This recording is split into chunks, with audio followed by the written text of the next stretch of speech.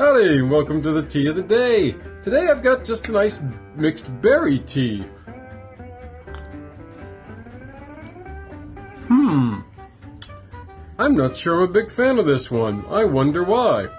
It's got just uh, elderberry, dried raspberry, blackberry, blueberry, apple, rose hip, strawberry fruit granules, which is a bit odd. When it, this is why you have to really read labels because even though this is a loose leaf tea, it says that it has like a sodium alginate, which is a thickening agent in it, and uh, it also has some various flavoring.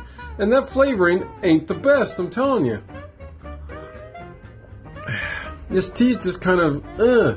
I even gave it the proper time to really settle in, but uh, I think because of the blackberry and the blueberry, it's kind of overwhelming it, and with these other lighter berries, it's just not balanced well. It's kind of blah.